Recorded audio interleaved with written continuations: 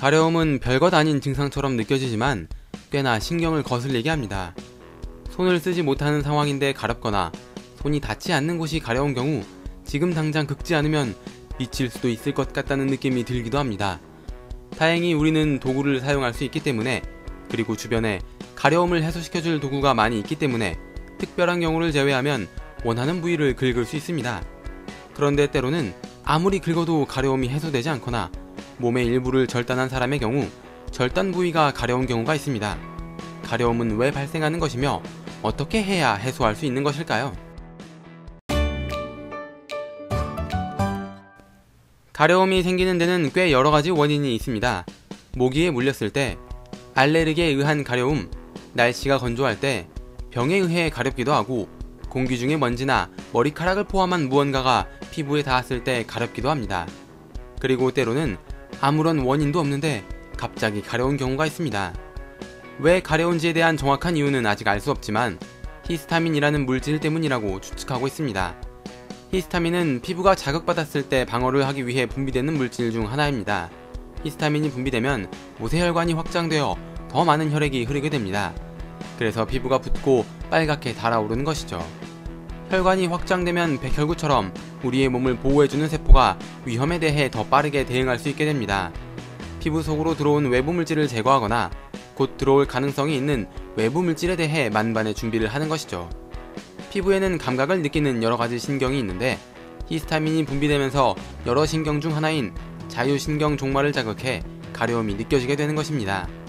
즉, 가려움이란 피부에 자극을 주는 외부 물질을 제거하려는 일종의 방어 동작인 것이죠. 모기는 피를 빨 때 피가 굳지 않게 하기 위해 항응고제를 방출합니다.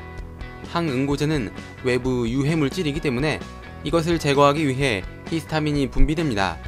모기에 물리면 가려운 이유는 모기가 가려움을 유발하는 물질을 넣어서가 아니라 히스타민이 분비되기 때문입니다.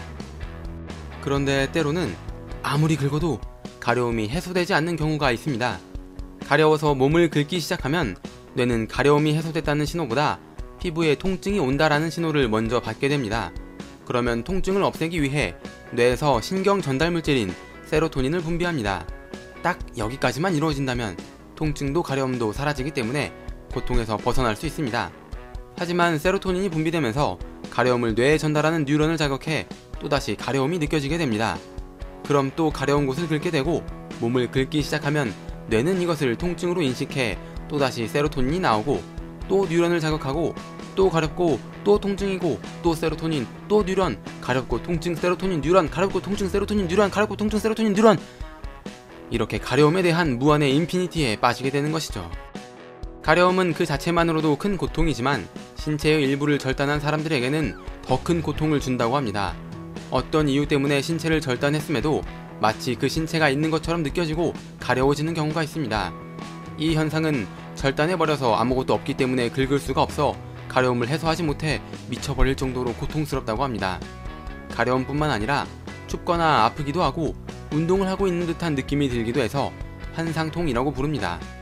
환상통의 원인은 정확하게 밝혀지지 않았지만 뇌가 착각하기 때문에 발생하는 것으로 알려져 있습니다.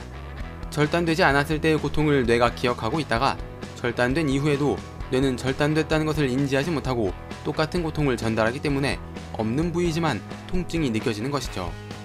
불행 중 다행으로 한상통은 거울을 이용해 어느 정도 치료가 가능하다고 합니다.